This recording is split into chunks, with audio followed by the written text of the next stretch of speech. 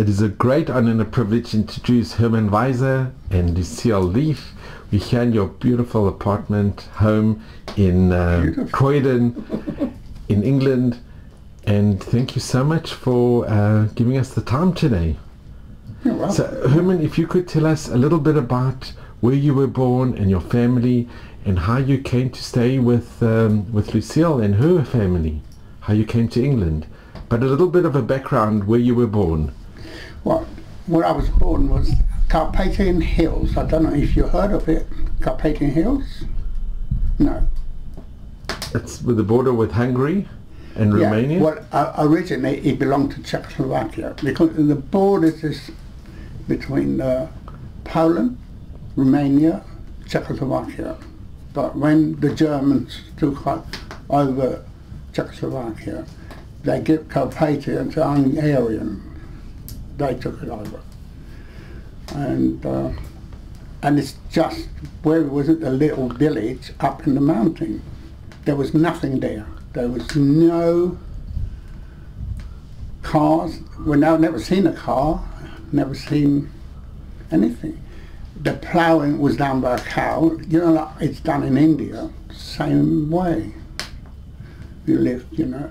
We had a bit of land, and as as um, say the son got married, father used to give him a bit of land, and that's how we lived because there was nothing. You had to grow everything uh, during the summer for the winter, storage for the winter. And when were you born? Do you know the date? 1932.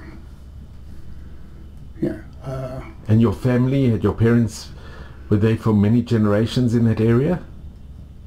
Yes, yeah. I don't know how long back, and I don't know how they built the houses, because when when I was born, the houses were done, because they hard well they had axes, and and I can't see how they actually built the houses. They, you know, it's quite like like in Canada. They used to build the houses the same way. Cut the tree down, and um, and then they built house for that. And were you one of many children, or Uh, five. and your parents? Did you come with a religious family or traditional? No, it was all, everybody was religious there. Absolutely 100%. They did exactly what a Jew's supposed to do.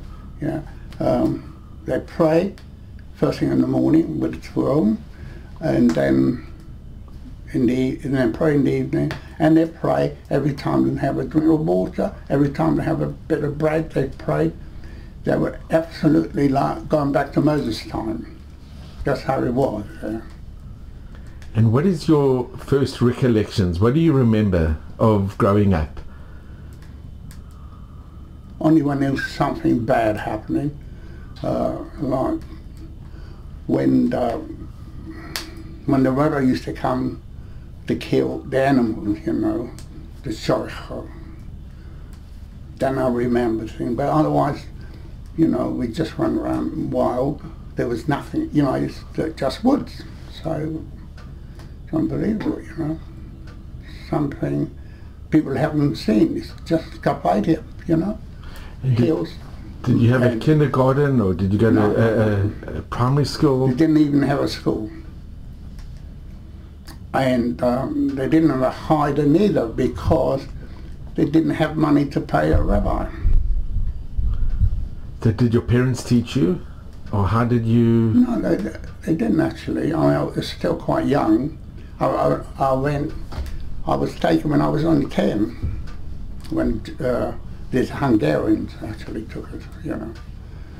And, um, no, we just, well, you know, I mean, he, only, all you had to know is how to survive, you know. You had to know how to grow enough food for you, for on the family, for yourself and the family. And that's what I, you know, that's what we did. I mean, I used to work when I was six and seven in the field. I cut a tree down when I was about seven. Yeah. I it was like wild. And Herman, uh, where were you uh, with the children? Were you the oldest or in the middle or? I was the third oldest. And, uh, Michael was older than you, wasn't he? two years older, yeah. And there was two, I know, two sisters, and they were younger than me. And what do you remember when the Hungarians came in? Do you, do you recall? When they come to get us, yeah. Well, it was quite a shock. Sorry. That's the first time I've seen uh, a rifle. So they come in and they said you've got to pack up so much food and you've be, got to be out within a, an hour. And they stayed there outside with a rifle and within an hour we had to go. The whole So- family. The whole family, everybody. And these were Hungarians. All the Jews in that little village, I think it's about uh, 10 or 11 families. And it was Hungarians that came to round you up. Yeah, because they took it over from the Czech. Well, the German gave it to them. But originally it belonged to Czechoslovakia. Yeah. And can I just ask, what, did, what language did you speak at home? Yiddish. Yiddish.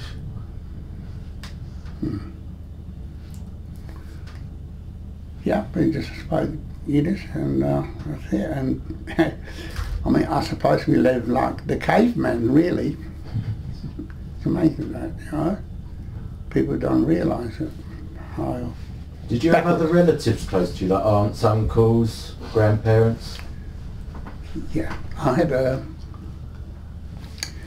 grandfather, grandmother, and her and her children, but it was quite a way, and um, well, you had to walk there. When I did walk, a long, long walk. Because Mum said she Didn't you remembered. once tell me that your grandfather had a spa or something? That's right. Yeah. And this this is the one on this quite. I don't know how far, but you know, I, I used to walk when I was young, miles and miles, because I had to in your fair to see them. Yeah, that's why he had a mm-hmm. spa. They- Do you remember the name of the village where you were from or where they were, or you don't remember the names of the Well, actual well, places? There was Bucharest, but I don't, don't know how to where the village where I come from, Bucharest, and where my grandfather lived was Somi. Actually, he came out uh, where they're fighting, but it, it's not. Is that's in Ukraine now? That's the name, but it's that's not the same village though. Somi was where my grandfather lived. And when, can I ask, when the Hungarians came to round you up, it must have been a terrible. Um, I mean, that, did you have any idea that this was going to happen? Was there any talk in the, in the village or? No, no. We didn't. We didn't get any news. I mean, there was no newspaper and there was no radio. We didn't get uh, any news. Um, so when they come up, we did hear from, the other villages, like my granddad, who lived in the other village, much bigger village. And they had roads there, and they were taking quite. Uh, six months before that. But we thought, you know, they went there to work. Nothing, nothing what really happened. So, you know, after that, Do you, did you ever find out what happened? yeah, I know what happened. I didn't know at the time it was the same what they went in the gas chambers. So we, when we got to um, Auschwitz, So where did the Hungarians take you? Where did they first take you? Right, then they got an, uh, another village, and there was like um, a ghetto for a long while. And I, I don't know how long we've been, but I can see my parents were getting thinner.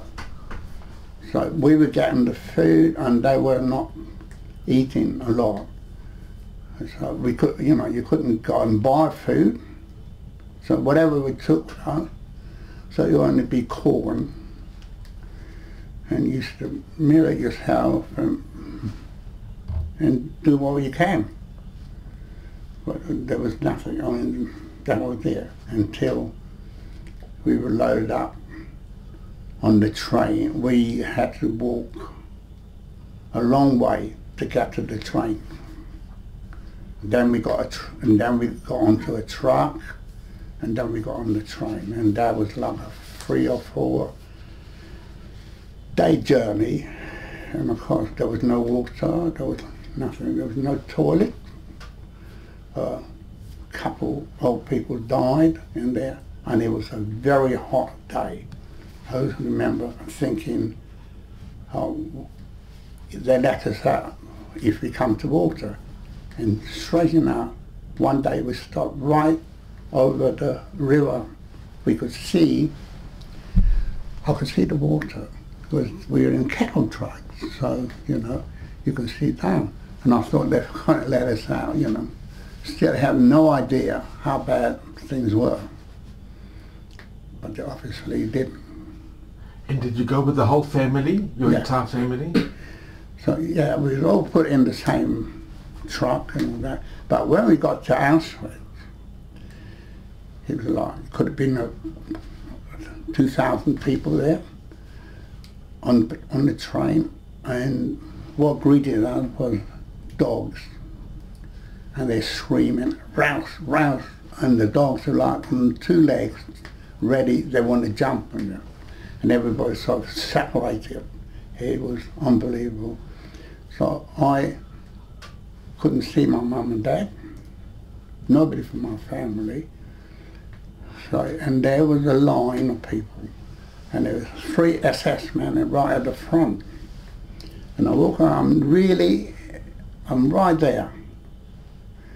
And uh, they were sorting out the people who could work and those who couldn't. And somebody from my grandfather's village, the man there, with a wooden leg, and he's selling, and he's showing them his wooden leg. He thought if he, you know, get uh, easier work, having a wooden leg. And all the three SS are looking at him, and I looked to the left, and I saw my father. I ran over there. They didn't see it because if it wasn't for him, I would have been dead. Because, you know, the people went to the left of them, because they're facing that way, to the left, they went to the gas chambers. Of course, I didn't know that at the time. So when I looked over there, uh, I saw my father. I ran over there. They didn't see me. They were looking at his leg, his wooden leg. And uh, then we stayed the night in Auschwitz, and they were moved out to another uh, camp um, we wor- worked for a while, and then another camp, and then we finished up in Dora. Dora was the camp where they used to make the rockets, but it, that wasn't. That wasn't. That's where the camp was, but the the and where they made the rockets was. And Herman, can I just ask, when, when you came with a selection in, in Auschwitz, did you see Mengele? Did you, or I didn't, you know, I didn't see him. Luckily, I said, I went over. I, went, I went over to my dad. He was selected to go to work. He was already, he already got there. and your mother and your sisters did, know. That's all the women were, went to the left. And of course, I didn't know at the time, but afterwards I knew what happened. They went straight. They, they immediately, the more they did, after, I don't know, 40, something something like that, they were killing them straight away. As soon as they come in, the ones who couldn't work, they were murdered. so Herman, it's, I'm sorry, it's a hard question, but from your family, who, who survived? Myself and a, and a brother, an older brother, he's two years older, and then he had a, a road accident on a motorbike, and he was killed on the road here in England. This, this is after the war. This is after after. that, here in And England. your father, did he survive? I, I was with my father for quite a while, and in Dora, that camp, and so I used to give him a little bit of bread because I, I worked in the kitchen. Well, I used not, not in the kitchen itself. I used to peel the potatoes, and I to do a hundred liters of potatoes a day, which is a lot. I mean, it's you know, a hundred liters a lot, and if you didn't do it and properly, but I occasionally could pinch a uh, carrot or something. So I get the little bread we got. I used to get half to my father when we when we met at nights in the in the barracks when we used to sleep. You know, you seen the the beds where you sleep, right? About eight or something, or nine on top. I used to give him that, and I used to give him a bit of bread when he used to go and wash your hand, and then he used to do the prayer beforehand. And one day he was ill, and he went to the hospital. Well, I can't, couldn't go and visit him, but every morning I used to go out and have a look at the bodies. I mean, there was loads of bodies. They just used to take them out and leave them, and uh, what do you call it? Um, like parade place, you know. They just used to they build them up like wood high, and I used to come and have a look, see if I see them, but I never seen them. And how old were you at this time? Uh, 13 or 12, some 12 I think, 12 or 13. Was Michael with you then? No, No. I never saw him till uh, we got together in Czechoslovakia Oh, uh, after the war. after. So did you? And what happened to your father? Did he survive in the hospital? No, I don't think. Never saw him. You never Yeah. saw him again. No, no. So I was, um, there was, you know, I couldn't go and see him, and I shouldn't think anybody survived, and they wouldn't, they wouldn't um, look after anybody, would they? Wouldn't survive. No. Do you remember your parents' names? Yeah, m- my father's name was Mendel, and uh, Basia was my mum's name. Yeah. Um, and, And your brothers? Do you remember the names of your your siblings? yeah, uh, so it was. Um,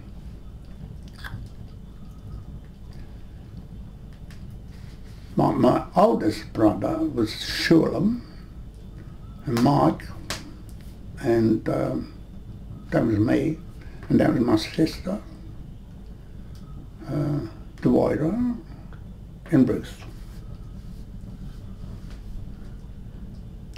I've only sort of recently, uh, you know, I've been sort of thinking a lot about it, and, and I've, you know, managed to remember the name. And how did it feel that you were alone now? That you you didn't know what happened to your father, and you in the camp? Can't, like, like everything, you get used to it. But at first, you know, I'm alone, uneducated, uneducated. I um, find a job, and it's not easy. You can't read or write, and so um, I got a job, and I did quite well at the job. I had several jobs, and I did all right at the job because I was quite handy with my hands. So in the fin- I finished up uh, maintenance in a hospital for quite a few years. Do maintenance But that's after the war. after the war. But when you were in the camp and your Oh, yeah. father was now in the hospital and you didn't know what happened to him, No, what happened to you? Did you continue? no. From that camp, now that was getting near the war. That was 1945. Uh, we we were taken on the march on the march. on the death march? No, I think it's a separate one. Well, it could be a dead march because we only used to get handful of potatoes, you know, boil on skin potato, and that was it for the day. And we kept marching, and sl- slept in the in the open, and it was uh, about April or near May, April, May, something like that. But it was fairly warm. We slept out, and one day we wake up and I could see two Russian tanks right in front. And they were going um, shooting. They went into the woods shooting them. And one of the soldiers come out and he had watches and go from here to here. And he took the, the, the watches from the SS man, I presume. And then we were free don't know where to go. no idea what happened, you know. Did someone take you under their wing, like an older person, or you were literally just walking along on your own with them? Like, was there an older lad who sort of said to hang by me because you'd lost your dad, or you were just No. literally on your own?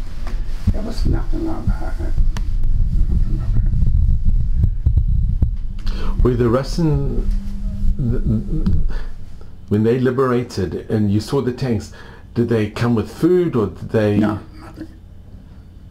Absolutely nothing. And how did you know that they were Russian? Could you hear from their accents or? How did you know that the, the, the did you see the Germans fleeing? Well, I, I didn't know at the time that they were Russians, but then afterwards I realised there was, you know, saw the Americans afterwards, and I saw a lot of prisoners walking that way. And there was a Russian guard and there was American guard on one side of the river, where they met the Russians and the American met almost across the river. So I've seen a lot of people going that way. So I followed them. And when he came to the guard, he and the guard in um, the Russian guard, and he said, "Where'd you come from?" You know, and I just hang, hang on. There was some Italians, I, know that, were pushing uh, a little, what, um, what do you call them, uh, a little wagon, you know, with, with stuff they collected. And they were pushing, I put my hand towards that, and I'm, you know, and so they, when the Russian asked him where he come from, he's obviously said he was Italian, you know, from Italy, so they let us through. But if I'd have told him I was from Czechoslovakia, I wouldn't have got through. you couldn't, you know, you, you had to stay on the Russian side if you come from from the east. And then then we got onto the American side, and uh, they did give us a bit of food. They used to. And when you were in the camps, what did you do?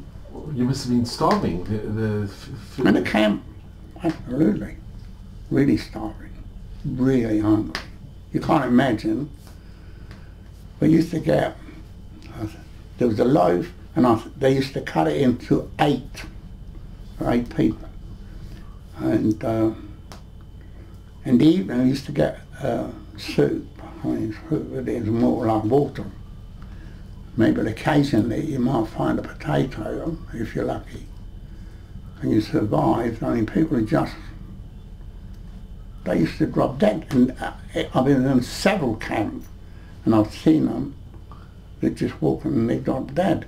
And I've seen one person who actually, I don't know how or what, how he did it, but he uh, had a human, human flesh. And, and then the, they had him walking about with a lump of wood to say what he did until he dropped, he couldn't do anything, then they shot him.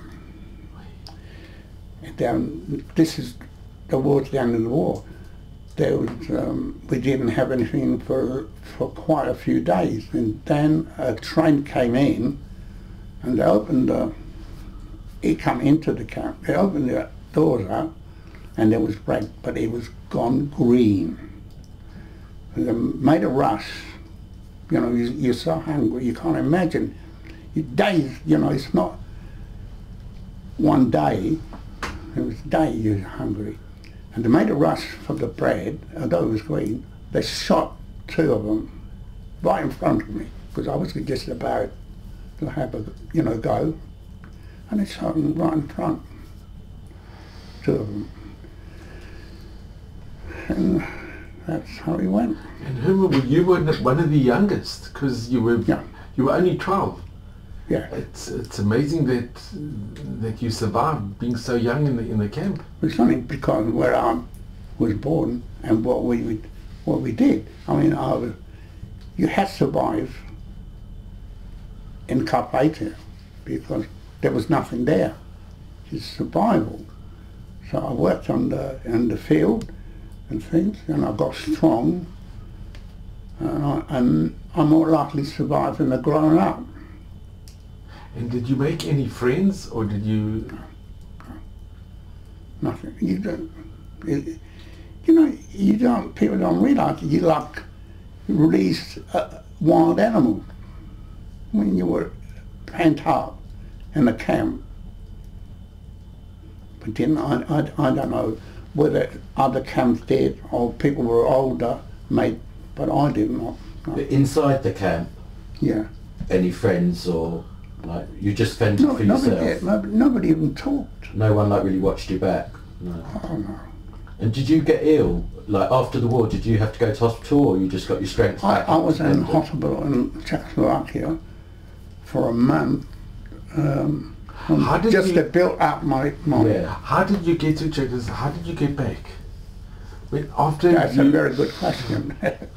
I like to know that. You don't know, yeah. No. All I know, I remember, I'm on top of the train because the lot, the train was completely full up, you know, and people were on the top.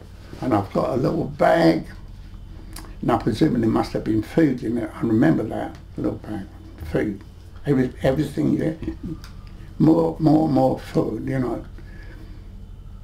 So I'm on the top. In the morning, I wake up. There was gone. Somebody's pinched it, and I'm so I'm on top of the train, and I finished up in Budapest. I was there for a while, and then I went to Czechoslovakia, and then my uncle found me. and did you and go my- by yourself? Yeah. Or- Yeah. All by yourself. You were in a strange city in Budapest by yourself. I was on the top of the train and going to uh, Czechoslovakia. I can't remember how that happened. Whether my uncle found me in Hungary, because he went to the Salvation Army and they knew I was alive and my brother and I. Because the Germans kept a, a record of everything. And the Red Cross, the, they would have the, the list of those people that survived. Uh, no, actually, I think it was the Salvation Army he went to, if I think.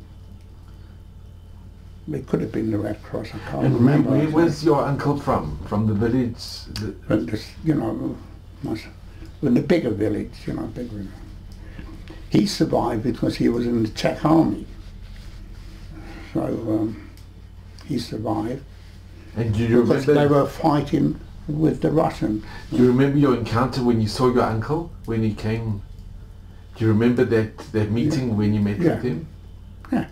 It must have been very emotional when you met with him. I would say, you know, your emotions are gone. People, you know, it's, you know, just haven't got any. I didn't. Uh, when I, I look at some on the, on the television, people are emotional, but I didn't have any. So Forget where I come from. Right in the, you know, uh, wild man, really. It's like a wild man where I live. No, no emotion. But I, I know people were very emotional when they met. And did he take you back to, to your the village? Or No, no, no, no. Never went back. Nobody went. It's no.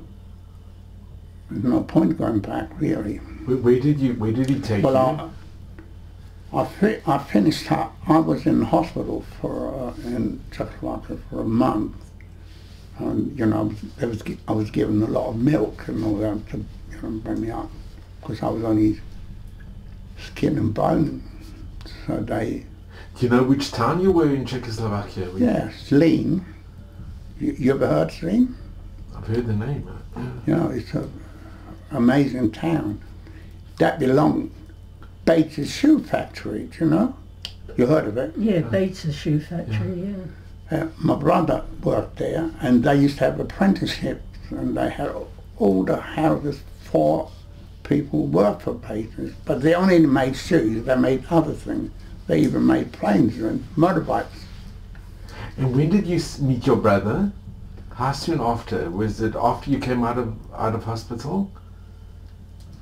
Yeah, well, I met him in Zlín, yeah, when I was out in the hospital. He was there, and then my uncle took me to Zlín. And how was the meeting when you met your brother?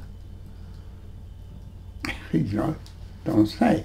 It was, there was no excitement. You know, the, everything's gone out of your, And did you realize when you met your brother that maybe you're the only two that have survived from your family? yeah, I had a good idea, you know, I had a good idea. Well, I know then, by then I, I already knew what happened to my mum and sisters. And I knew my father didn't survive. I never saw him out of the camp. And when we left, I'd still, the day before, I looked and see if I could see him amongst the dead, and I didn't. So they, um, I know he didn't survive, and I know my mum definitely didn't survive, and my sisters didn't survive.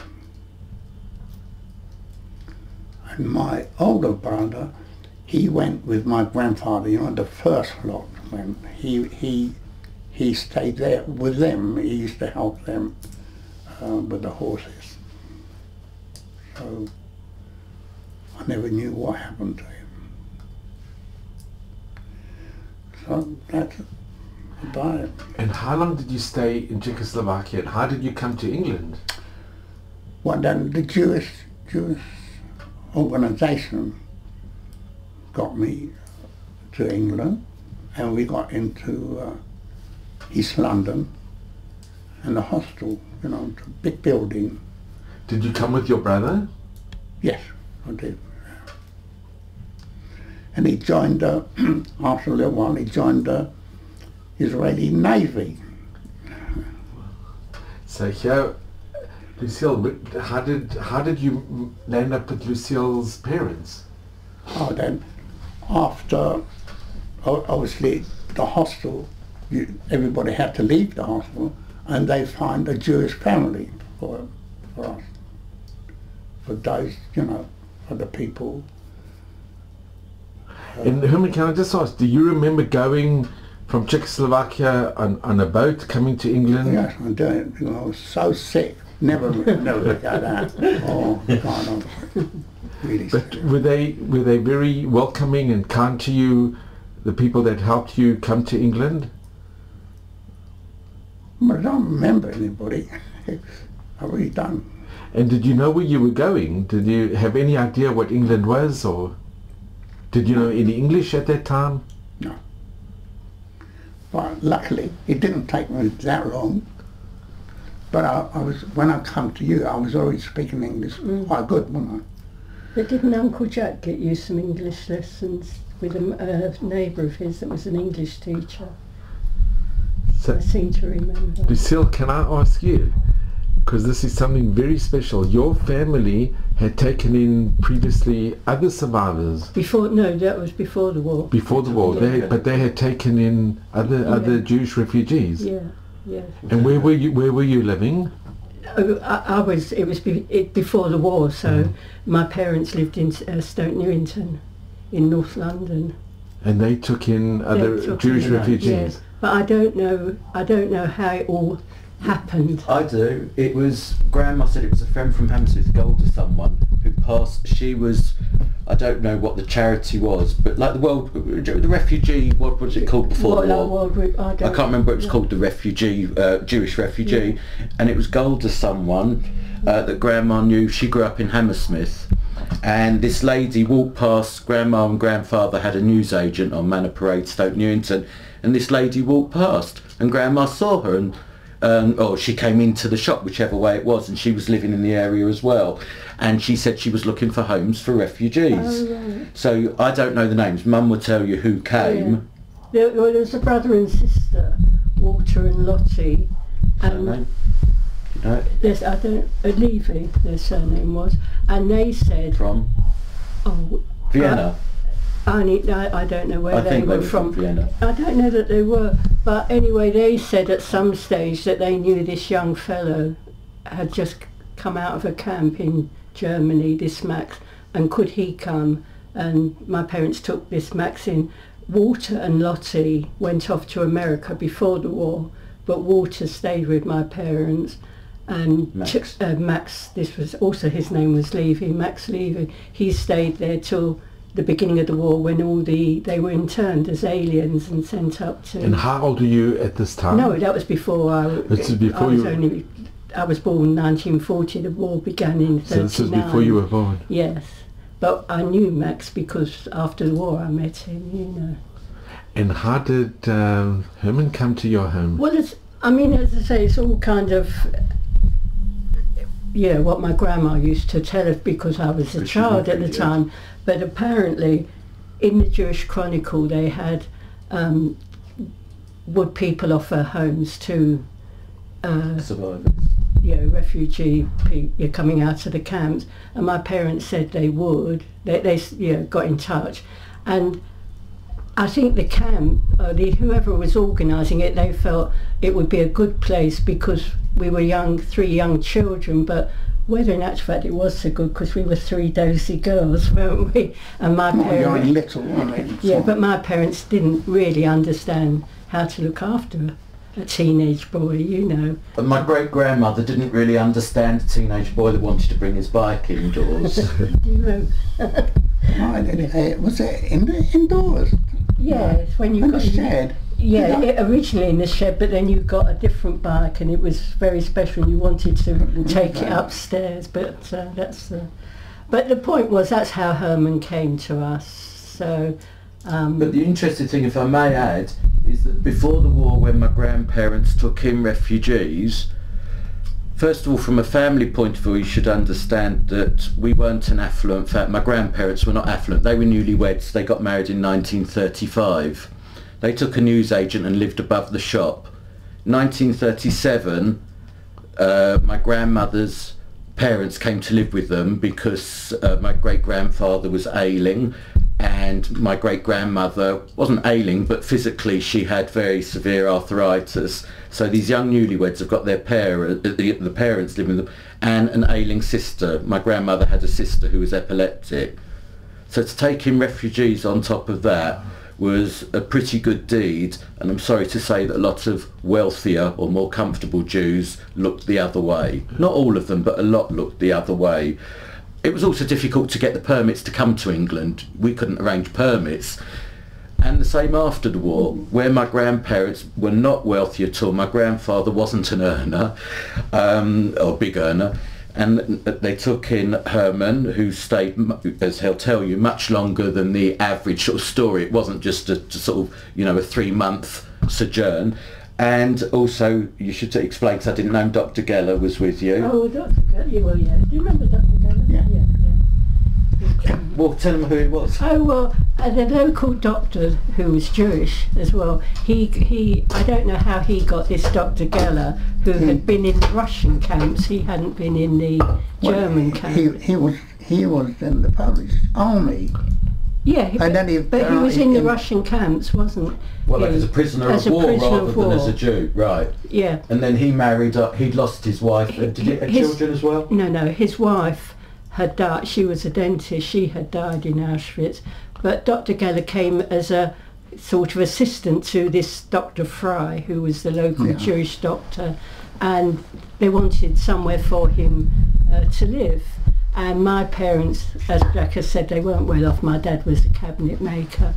And um, they took him in as a lodger, so he lived with us. So we had Herman and Dr. Geller lived with us for a few, well, about two years till he was introduced to uh, a lady, a Polish lady who had come out of the camps, uh, Blanca, and they got married.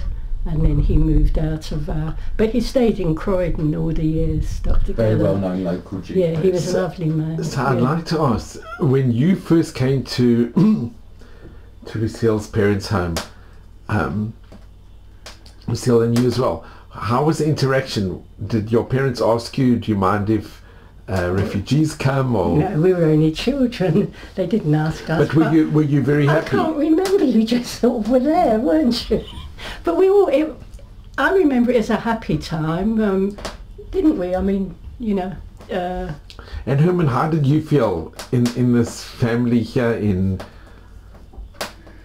with with three girls and was it difficult to to just become part of a family or did they accept you very welcomely? I'm sure they must have. Well, they they uh, they did welcome me a little became bit, part of I, the family, But didn't then you? then when I got a bit older, I went to the I joined the cycling club, I, and everything opened for me. You know, I, I got friends, and we used to ride long, long, long distance. And I used to race as well.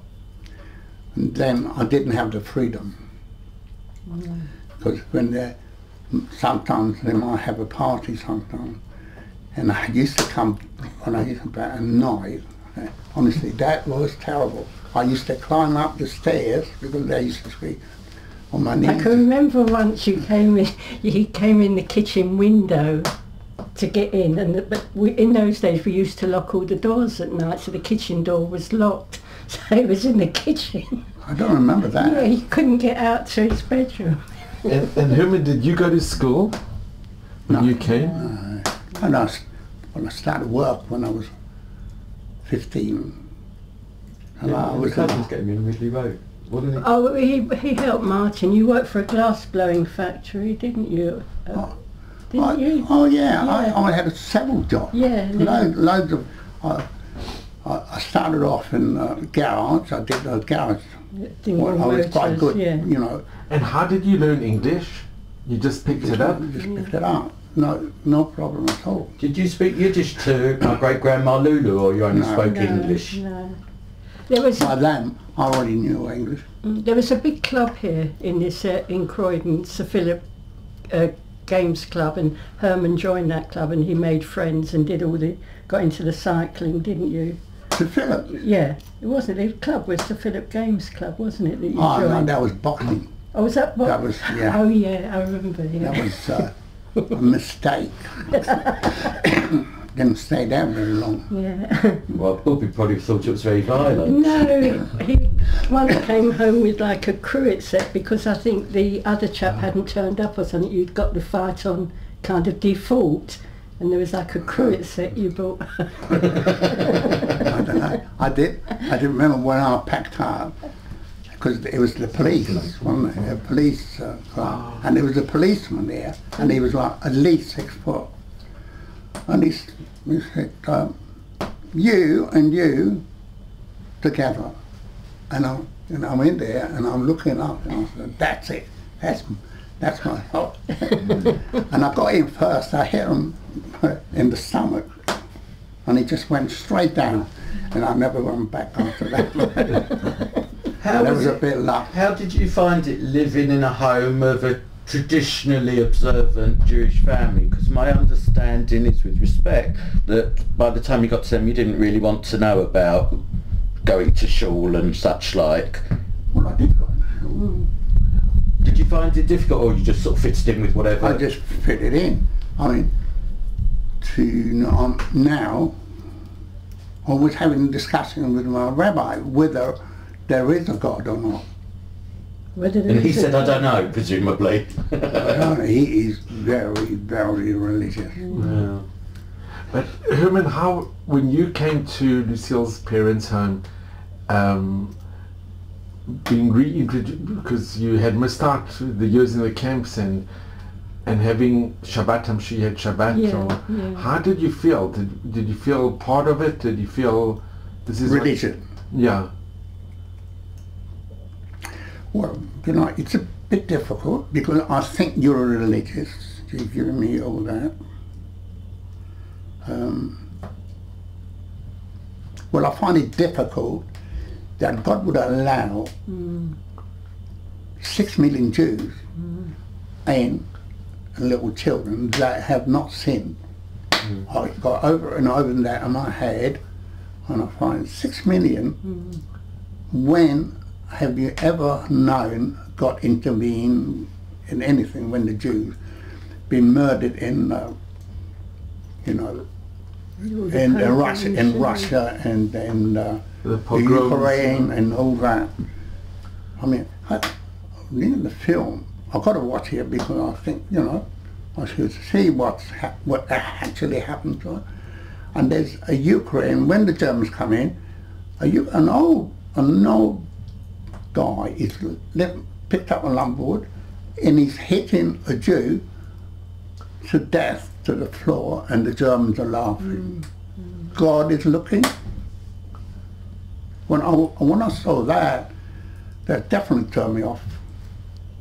I go to shul, but doesn't mean I have to believe. No, it's. I Uh, mean, to see a Jew being beaten to death with a lump of wood, and there the German soldiers are laughing.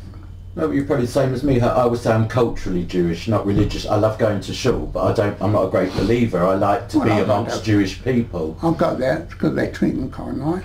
Yeah, no, I had uh, uh, my uh, 90th birthday. They gave me a really terrific birthday. your 90th birthday. Yeah. That's me. And Herman, when you were in England, did you ever encounter any anti-Semitism from any of the British or? Well, did What? they particularly know you were Jewish? Well, I was going to say that. You see, the first thing I did, I changed my name to John. So, and I didn't look, I don't look particularly Jewish, I don't think. So people didn't know. But I did hear now and again, you know, grabbing Jews, you know, they, Yeah. So if, even if not directed to you, it was what was said generally. yeah, I heard them discussing, you know, but not that bad. Not really, not, it's not as bad. And then I just, I thought, it's ridiculous. You know, you know, when you come out of something terrible, you don't want to be, identify yourself with uh, being a Jew. You're not, you're, you know, I was scared, really. And can I ask, with your brother, where did he stay when he came to England? Well, he went in the Navy for a while, and then he got married. He come come out of the Navy, got married, and he was living in Tilbury. And were you close with your brother? Did Yeah, you? well, I used to go and see him at least every two weeks. Or, uh, so yeah, And did you discuss with your brother the camps No, and, and no, the, no, the, the Holocaust? What had happened? he don't listen. Well, I don't never discuss. I don't even other people. Don't, why would they want to discuss a thing like that? But with your brother, did you did you speak about what you went through? No, And he, he never asked? He never asked, and I never asked him That's to where he was. He was, I don't know, it was something you didn't talk about. Nobody talked about it.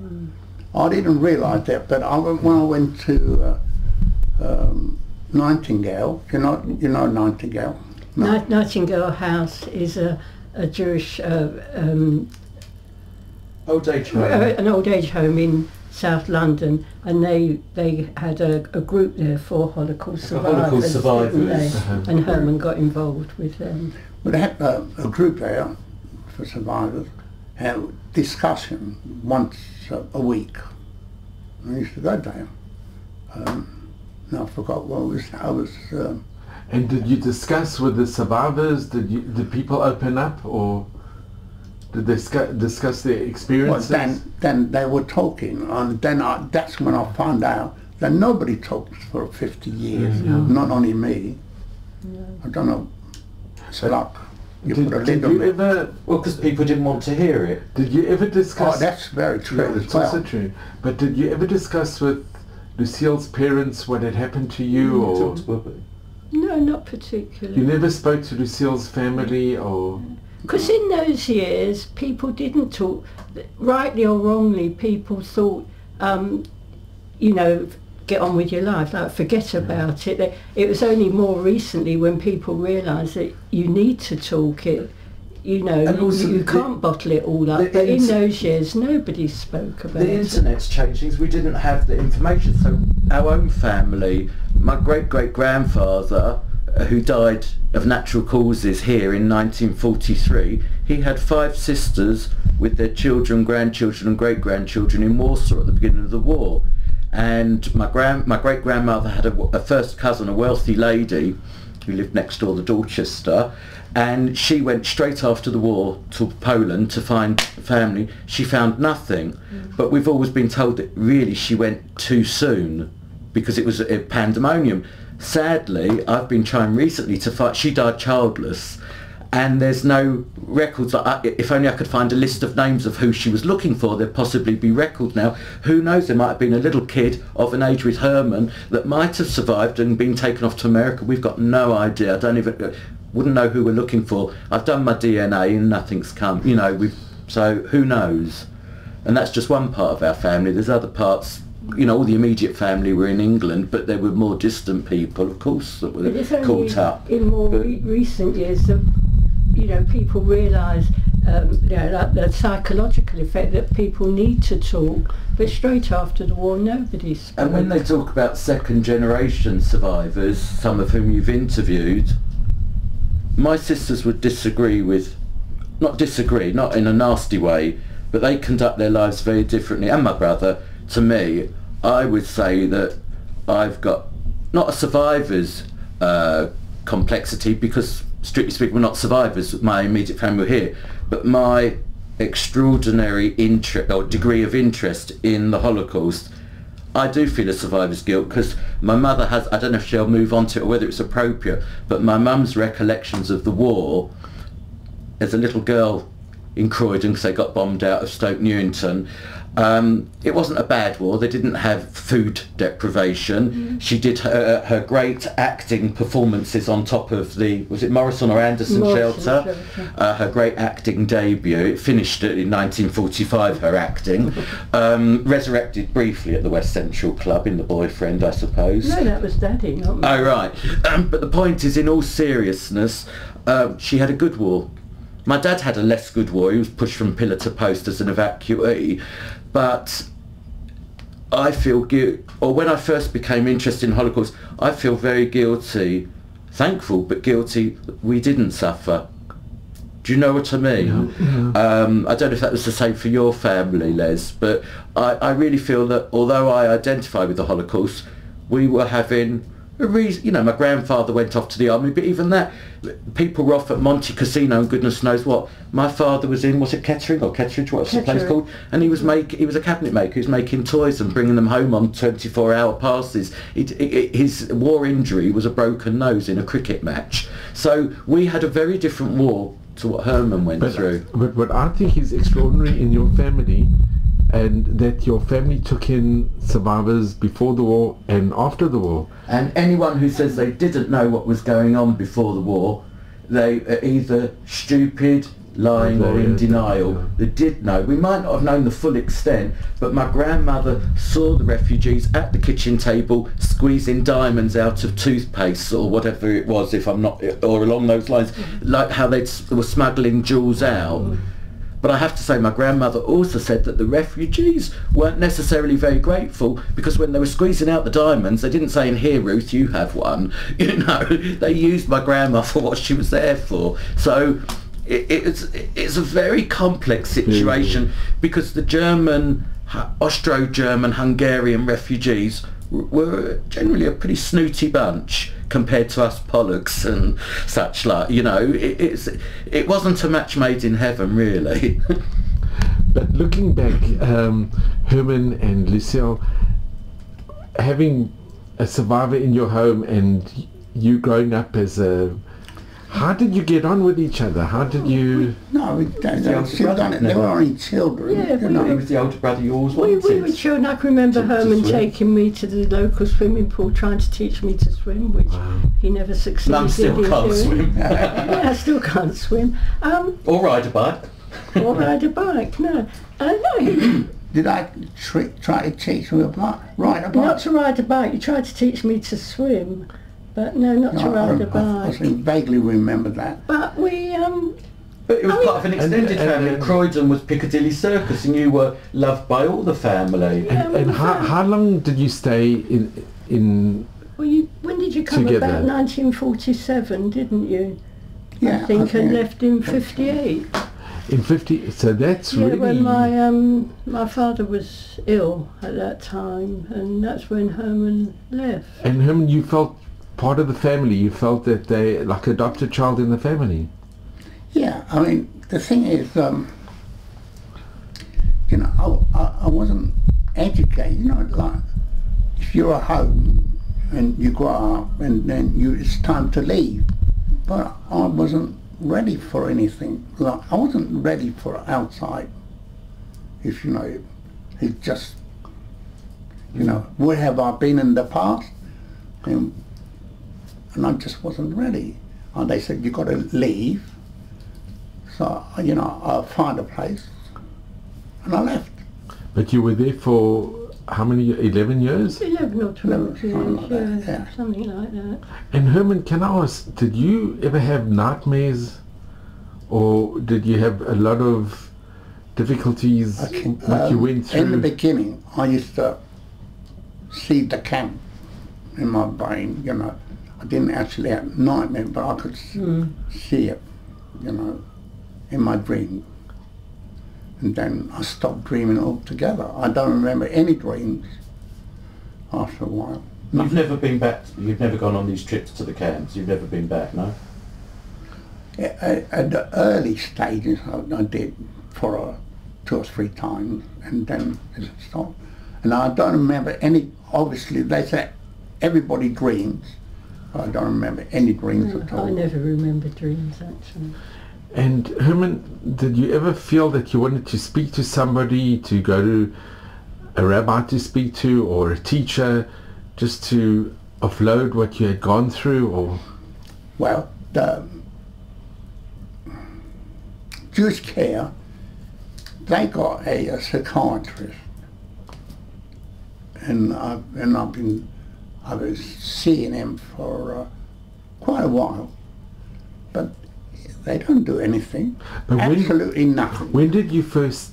I mean, when you were when you were still a, a boy and then a teenager, in those days, did you feel you wanted to go and see somebody or or speak about it to anybody? No, You bottled it all up.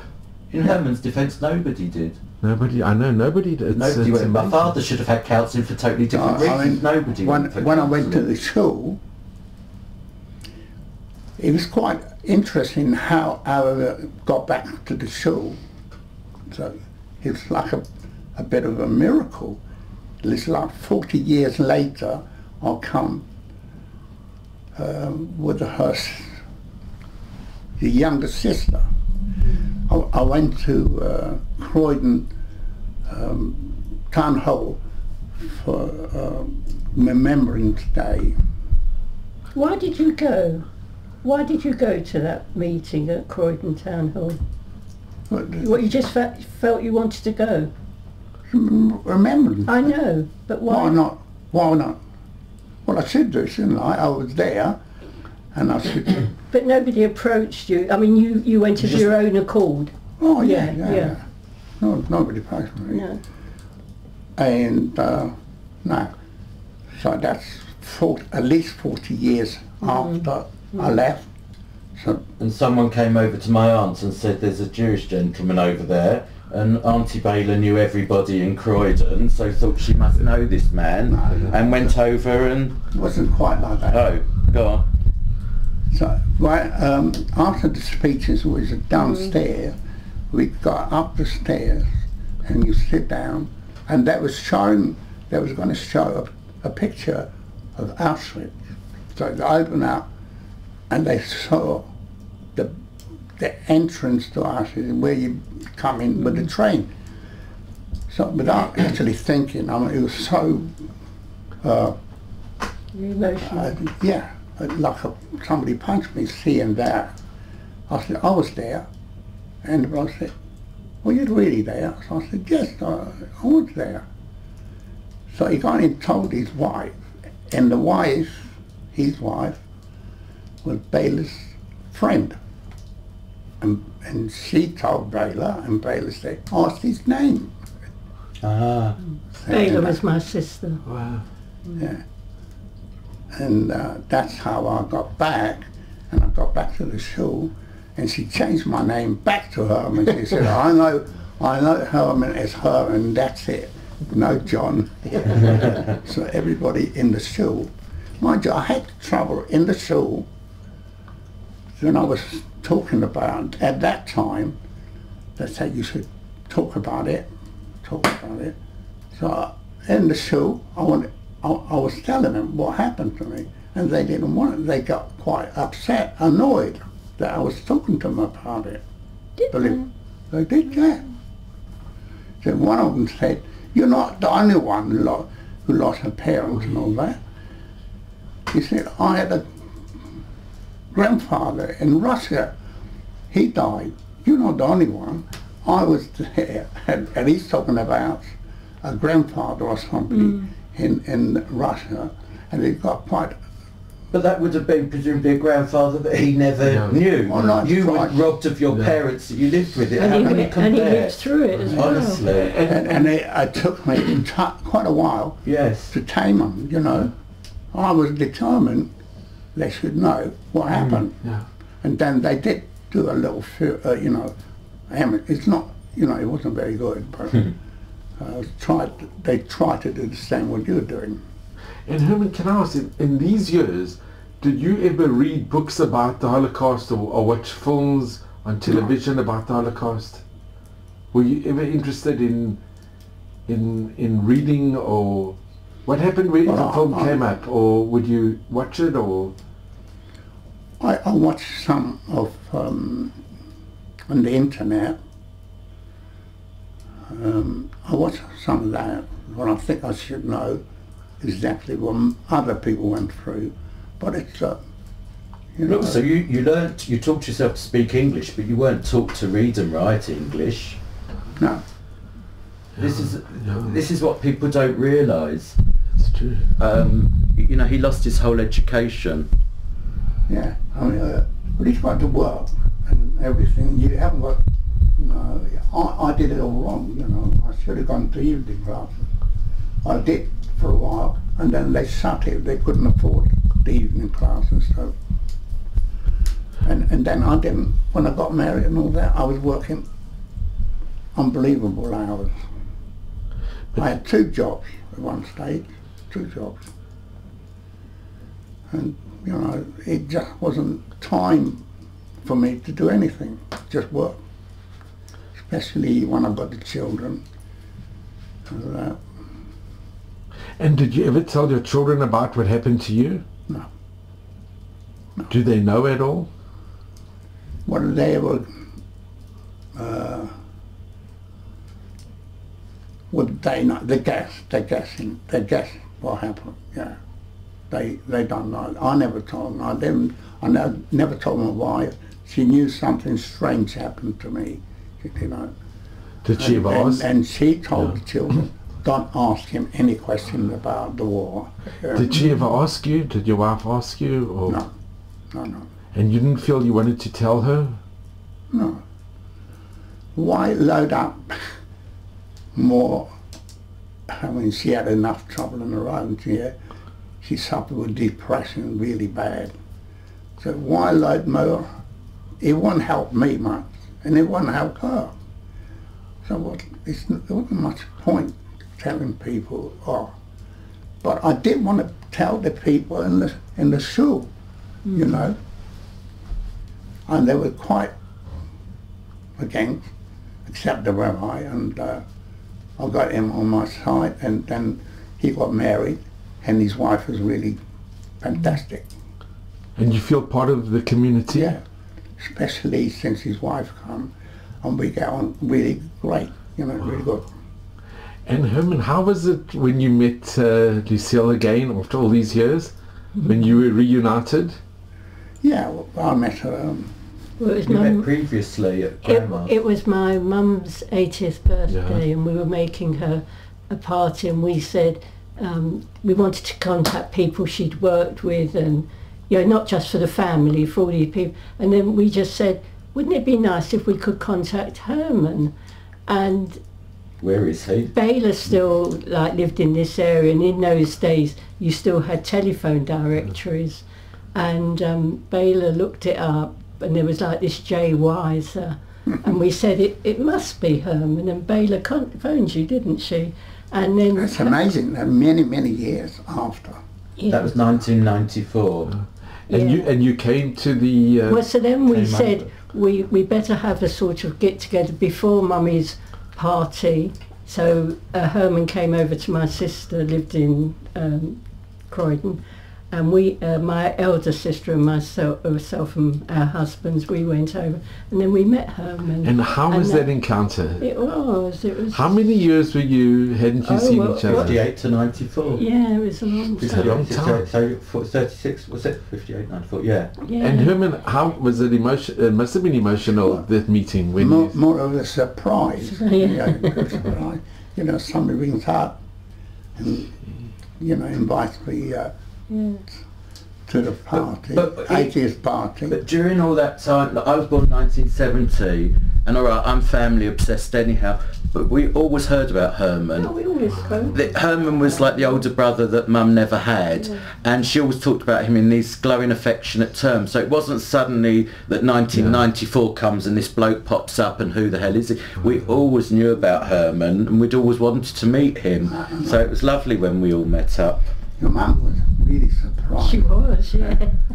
She must have been so happy. So Yeah, no, that, that made her her, her Well, 80th birthday party. we um, yeah, it, it was lovely. It just so happened that um, Mummy's birthday was sort of on a Saturday, so and we used to go to shul, so we had to. We we had to tell her we were doing something, but she didn't know what. So we arranged for friends to look after Mum, take her to shul and everything on that particular Saturday while we were getting this party ready. And there was Herman and there were some of the people that Mummy had worked with and whatever. This whole surprise party and all the family. And it was a lovely, and she was surprised, yes. And um, yeah, it was, it was lovely. It was, yeah. I mean, Of course, my grandma had died by then, you know. But uh, But there were cousins that, uh, that were there at that party, like Martin and that, that had remembered you, and Yvonne, yeah, well, I and that, and it was Martin tonight. yes, yes. And then he went to Israel. didn't He- he- he- eventually, He yeah. ended up in Israel, yes. and Herman, what happened to your brother? Did he he move to Israel? No, no. No, he, I said he had, uh, he, he was living in um, Tilbury. He got married there and he, live, he was living there and when he was coming back from work, Oh, he he had a was in, motorbike and he had an accident on the motorbike. We don't actually know what happened. How old was he? He's only two years older than me. No, when he passed away. When he. I was, I was for, uh, you still what with about Mum? that? Uh, No, no. 40 something, yeah. A, a, long, some, a long time ago. He was, he was only two years older, so he, mm. Terrible to go through the war and then that should happen. And Lucille, do you remember? No, all I remember, Do you remember him coming to visit? Did Michael, suddenly he'd phone, he'd come into port or something, and suddenly he'd phone me, so, yeah, Herman, Herman, and Michael's on the phone, you know. And did he come that- and visit? Did, Once or twice, I don't remember a lot about him. He came once or twice, but he was, but he used to No, phone I- I- when I he used to- came into, I, I used to want to see him very Yeah. regular, yeah. at least every two weeks. and from your whole extended family, is was your brother the only s- survivor you had and your brother? You said someone. and my um, contacted uncle. Your uncle. Yeah, but he he uh, immigrated to America. Oh, was that the one? Mm, I And were you in touch with him? You remained in yeah, touch? Yeah. All true. And he used to send me pocket money every month or week. It was pretty good, very good. Much better than I was to him. So your uncle, he was the one that reunited you with, Yeah. with Michael, yeah. yeah. See, I mean, he was more educated. So, you know, he was in the army. And he, um, he was an officer, actually, of some kind. I had a photograph of him. Um, so he, you know, he, he done quite well. And then he went to, he went America, got married, had children. And I had one of the children come here, one his son. And then that's it. And he, then he died. But none of your family had left Europe before the war. No one that you know of. No, So there's no photos that survive anywhere that, like of your parents or anything. No. And did you ever have a desire to go back? where where I lived? Yeah. No, and it's no good going back, is it? No, because I I met um, somebody in um, Nightingale. They lived in a bigger place, but it's still Carpathia. And she went back, and they had, she had a terrible, terrible reception. They said, "Why you come back?" You know, the villages mm-hmm. there. Mm-hmm. And uh, she said, well, I just wanted to have a look at my house. We don't want you here. Get out. Mm-hmm. On, in, on, on, on another occasion, I saw it on television in Poland, Yeah. the woman is making a film and she said, uh, we're going to see now where I used to live. She knocks on the door, door the woman opens, what do you want? She said, I used to live in this house, we just want to have a look. You can't shut the door. That was in Parliament. Yeah, they think you're back to claim it. Yeah.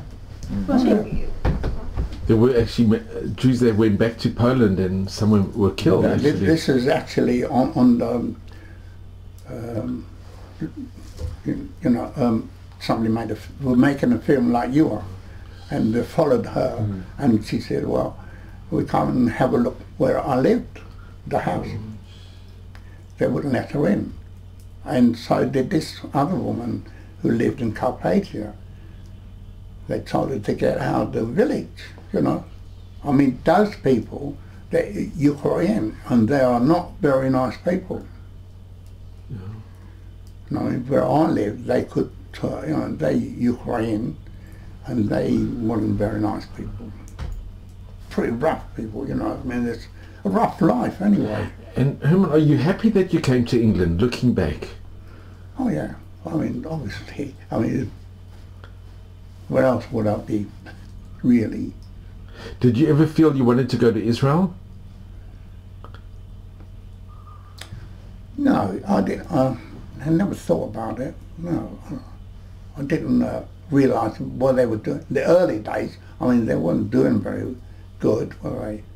I mean, uh, the state of Israel was not 1958, wasn't it? 48, 48. 48. 48, I mean, oh yeah, Yeah, sorry, but you would come out of the camps from one hard life straight to Yeah, another hard yeah. life. Uh, So I know. maybe you needed, you needed a, after what you had gone through, to have a loving family to look Well, after that- you. There wasn't love in, in Israel neither. For, It for was hard. It It was was a hard. hard life, was sure. uh, Not, but actually, as far as I, I've heard, they wasn't very, uh, you know, they didn't like the refu- you know, the No, survivors. no, they I- didn't like them. no, no, not completely. Were it was difficult, but they were they were they, many came. The whole country was built up. But again, They, they were built up But on they didn't like, originally, There wasn't liked. You're right. I mean, according to your own testimonials that have been recorded, excuse me, they not so much they didn't like them, but they didn't want to hit. Well, first of all, they didn't want to hear the stories, and secondly, they thought they were like lambs to the slaughter. So whereas now we call them survivors, I think they thought when they were arriving they're a bit of a motley crew that had sort of, as they'd just gone with the flow, they hadn't put up much of a fight, Well, as if you could have put up a fight. Well, fight. immediately after the war, anyway, it was still under the mandate. Yes, I but mean, I'm saying- Israel wasn't. You couldn't you couldn't come. Yes, but everyone thought it was lambs to the slaughter, as if But you could know, have you know what the anything sad thing? There were many survivors that did come and then they had to go into the, the War of Independence. Yeah. And you see uh, at the graves many died in the War of Independence. What I didn't realise... they came from the camps to fight. and until I watched your own story, the testimonials, I didn't realise how many Jews had come out of the camps, gone to Palestine, and then got their visas for America. Uh, I don't know what the number of, but a huge amount went from Israel. Whereas, I, you know, I always thought you went to Israel, you stayed there, but no, a lot went on, particularly to America. I don't know if that's good or bad, but I think where you were lucky is that you were adopted or fostered, whatever word you want to use, but taken into a very loving home. Yeah.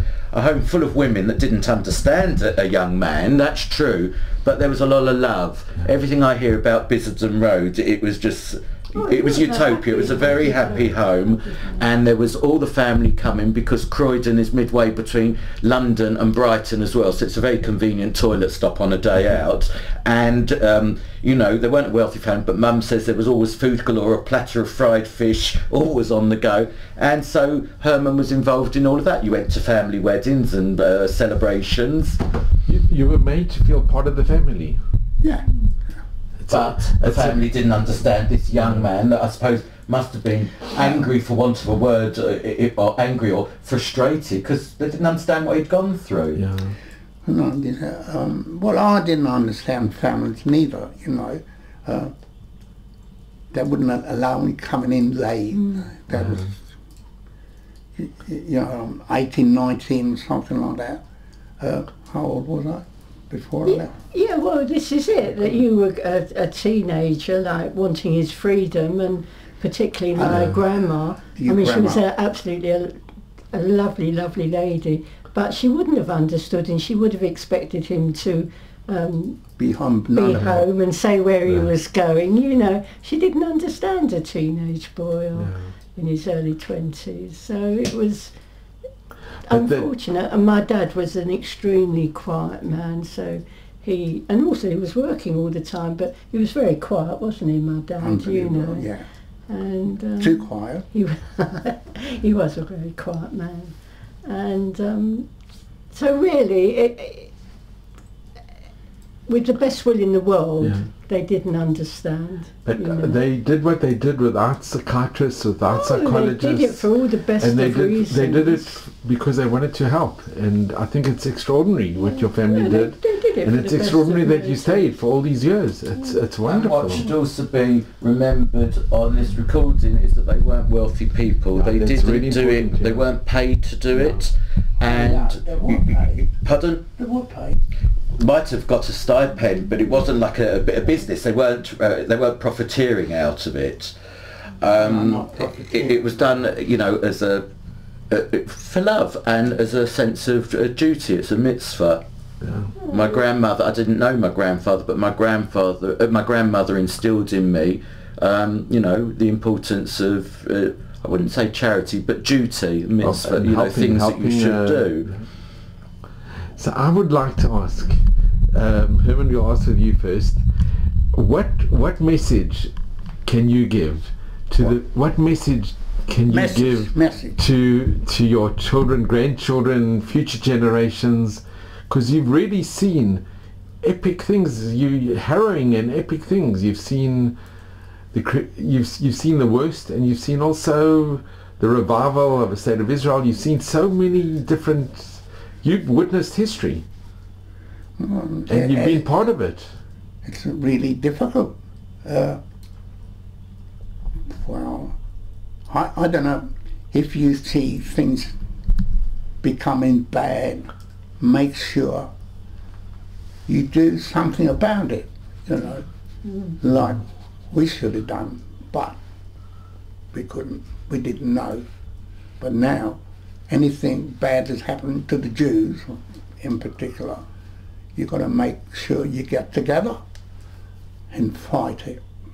And don't let it go like they you know, when when I when I was young and the Germans come, they didn't have a clue about fighting back, and they didn't have they never seen a gun for a start. I never seen a gun. Nobody in, in the villages where I live seen guns. Uh, so it's difficult, but as soon as you see any problem, try and deal with it. Don't let it fester on and on until it becomes a big explosion. That's the best I can do. And Lucille, if I could ask, what message do you give? You know, having been in a home where, where your family took in survivors. Well, it wasn't just that. I mean, um, my family were they were they were good people. I mean, even uh, nothing to do with the war, just with family, etc. They've always been very um, caring, involved sort of people. Um, I mean, we weren't sort of uh, we were traditional kind of Jews, you know, but the Jewish aspect has always been very important within our home, and um, they were kind of good people, but I don't think they. It's hard to put it into words, really. Um, Your message to the future generations. What, your te- what what would you tell us kids and your grandchildren? Behave yourself. behave yourself, yeah. No, help where you can, do good, don't do harm, you know. Um, Well, be, be tolerant of everybody. Jackie, I think you, you actually said Jack's better with I'll words you've I am. actually said something very, very, very important. I'll put Yeah. words into Mum's mouth because I was seven and a half when my great grandma died. I remember her, but I don't remember all. She was very matriarchal, and she was very strict but very fair. And all the family, I've never heard a bad word said about Auntie Lulu. Now she ran a very kosher home, but she wasn't a shul goer.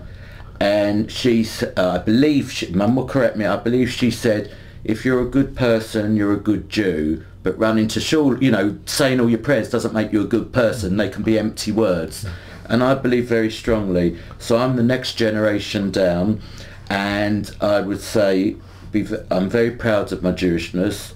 Anybody that meets me within five minutes they know I'm Jewish. I'll never hide it. I'll wear it as humour as well. You know my sisters always I'm like Maureen Lipman and I think it's funny. Um, so I- I've always been very involved in Jewish communal life. Um, I'm an ardent Zionist and i if Israel is not my physical home, it's my spirit, it's a spiritual home. I've truly got divided loyalties. Mum's convinced I'll end up in Israel. I'm not convinced, um, uh, although I'll be there next week on holiday. Um, so support Israel. It's very easy, particularly in the, these times, um, to be critical of Israel. There's enough non-Jews to criticise Israel we can be constructively critical, but we shouldn't just criticise it uh, for the sake of criticising when you know that it's going to go outside the community and it's going to be misquoted. Um, so it's to stand close and tall and proud with Israel. And when people say, oh, I don't belong to a shul or I don't go to shul, as Herman and I have both said, you don't have to be frum Yeah. to go to shul and you don't have to be frum to belong to a shul. And uh, my grandmother instilled with me that you pretty much pay your shul bill before you pay your gas and electric. And I've always had a shul membership and the structure of shuls in this country if memberships are not paid the shuls can't be funded and they will close they are closing. And we are being destructive to our own people by not supporting our shuls. So that's my message for my nephews and niece. Oh, yes, that, that's very true. People are not supporting. No. The Jews are not supporting the synagogue. So I just want to thank you. I'm going to just come in. Um, well, so Herman and Lucille and Jack, I'm so appreciative. Herman, really, this has been such an honor and a privilege. It really has. And Thank you. um, Thank you. it's just amazing to hear your story. You really, I think it's it's incredible, and you see what your family did, and it's it's it's wonderful to see that people cared for you after the war because you went through enormous difficulties, and thank God you're here and and And healthy. and healthy and well. And um, you should just continue to be well and have all of Hashem's blessings. And I know there are many questions and we don't have the answers. But another question is where was the whole world when this was all happening? Where was Europe? Where were the where was the whole world? How did they la- allow it to happen in the most cultured country in the world? There are many Can I say something? Sure, but Where- I, mean, where- I just want to thank you so much, really. Right. Okay, thanks. No, no, no. They don't. They didn't want to know because it is affecting the Jews. They were all happy about it. Hmm. Most of them, the majority, were happy. Yeah. I mean, they did, they didn't worry about Jews being killed. Mm. In fact, they enjoyed it. But there were good. There were many that did help, and there were righteous Gentiles, and we, we There must be grateful few. for On- on everybody who's of the helped. few, yeah. the yes, few- but the Russians get a bit of pretty bad press, and you know we say if it wasn't for the Yanks, we'd be speaking German. But the Russians were, Yeah. were good for us for the war. No, they did. They, They liberated. us. Churchill didn't bomb the railway lines, and people say if it wasn't for Churchill, we wouldn't be here. Well, true. If it wasn't for Churchill, we wouldn't be here. But Churchill did not win the war for the Jews. It was was just that the fact that he won the war, so It we was also Roosevelt. benefited. Roosevelt. Well, Roosevelt um, was worse. But I mean, Churchill's, there's quotes in history where he wasn't Jew friendly. British aristocracy's not, and it probably still isn't. Still I, I, I said that in the synagogue that Roosevelt wasn't good for the Jews. No. They, they thought I was out of my mind. No, But I mean, even with Princess Margaret's mother-in-law was Jewish. Where do you ever hear that talked about? You know, you have to keep it quiet. And also British Jews, our survival is we keep our heads down. That uh, you know, we're not like American Jews. We we keep keep your head down and keep a mm. low profile is the way. Mm. And it's not necessarily the right way, but that's how it is. in this country, Ju- Jews changed their name, their surnames. In America, they didn't. You know, it's just the way it is in England. You So Lucille Yeah. Cohen was really Lucille Dobzhinsky. really. Wow. That's but another but story. Lucille, I, I really must say this that it's that for me personally to see a family that did take in refugees, as Jack said, it's a pity that more families didn't. Yeah, well, And your family wasn't affluent, and they did the right thing. well, And I think the most amazing message from this is that when you have people that really care about others, it really makes a difference. And even now, with all the crises in the world, we've got World Jewish Relief. Um, interestingly, when the Ukrainian crisis start, the current crisis started, and I contacted World Jewish Relief and offered my home or hospitality to Ukrainians, and I don't mind this being on record. I eventually heard back, we're not looking in your area. That's Leigh-on-Sea next to Westcliff, which is affectionately known as God's waiting room. It's the Miami, you know. Um, I thought I was absolutely disgusted, and as Herman alluded to, I don't know how much Ukrainians have changed between then and now, but I didn't want a non-Jewish Ukrainian in my home, so I contacted another charity and I had an Afghanistani refugee who was a wonderful young lad and it's a story in itself. But Jewish people could be in this country, I don't know what they're doing elsewhere, but they could be doing a lot more for refugees. They could be doing a lot more financially to support Israel and indeed Jewish charities in this country that are crying out for money. Jewish people, um, it's the pro- British Jews are very in favour of assimilation. The First World War assimilated those funny little foreign boys into British gentlemen, British soldiers, and the cost of assimilation is what we're going through now. Um, and it's very worrying times, not just for men, but worrying times for ourselves. We're almost self-harming, um, and I don't know the answer to that. In Israel, a lot of, and this is amazing, a lot of um, Ukrainians wanted Israeli passports because they could be saved, and many were taken to Israel, and they've been very, very well accepted. My wife teaches in a school where there are many Ukrainians and Russian children that have been brought to the country, and they're very well accepted.